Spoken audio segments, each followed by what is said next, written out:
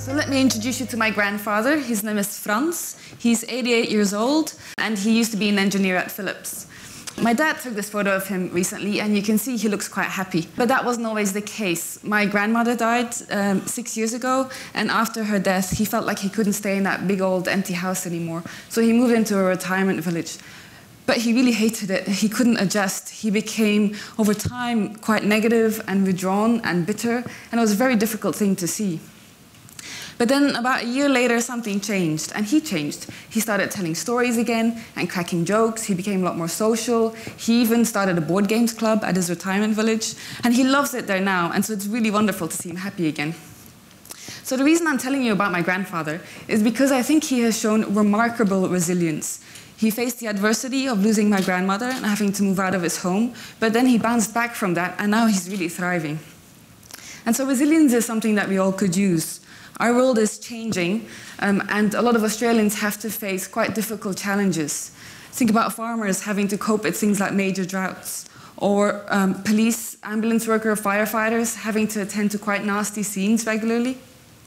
And resilience is also about more than those big impactful events. We constantly have to face everyday challenges over and over and over again. Those of you who uh, have become parents, think about the challenges that that came with. Or if you've become a carer for someone. Or if you find yourself having to sit through 12 presentations in one evening. um, so the problem is that not everyone is as resilient as my grandfather turned out to be. And poor resilience is associated with a range of problems, including both physical and mental health problems, an increased risk of suicide, which is a big problem in farmers, and also things like um, loss of productivity at work uh, or at school and substance abuse problems.